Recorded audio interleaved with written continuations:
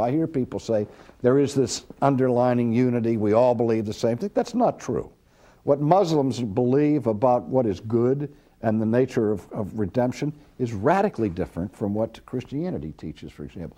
Buddhist was, uh, Buddha was an atheist who simply claimed to be enlightened. Confucius talked about the uh, veneration of ancestors. That's a long way from the faith of the scriptures.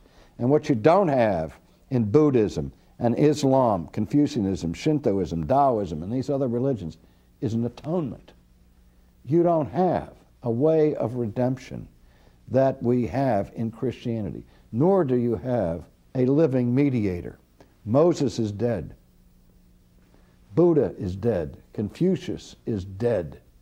And uh, Mohammed is dead. There is no resurrection in these other religions. Christianity has elements to it, content to it, that distinguish it from all other religions. And with that distinction comes the claim of Christ that it is the only true way to God.